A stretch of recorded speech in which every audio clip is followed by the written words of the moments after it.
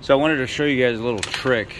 I got this off Amazon. It was like 10 bucks. Some of you are servicing your diff or your transfer case, not diff. I got, I just sealed the diff up right here. You see the silicone and stuff is still drying. I wiped it out, sprayed it out, dropped the fluid out of that. Now I'm up here. I want to show you this. Kind of what's going on is I, I'll dovetail the end of this. There's like a metal lining inside here. And then I'll take it and put it up here under the transfer case, like so. And then kind of let it fold back. Get like a little channel, channel built into the center if I can. Get it kind of hanging up like so. And then when I pull that bottom plug out of there, it won't spill oil all over the place. And uh, I'm using a uh, number 10 Allen.